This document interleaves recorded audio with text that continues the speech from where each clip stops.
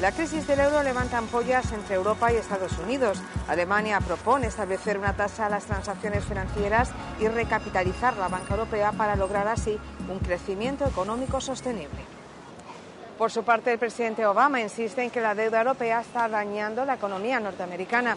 Saludos y bienvenidos a Europa Abierta. Buenas noticias para Andalucía, que recibirá 8.500 millones de fondos de cohesión a partir de 2013.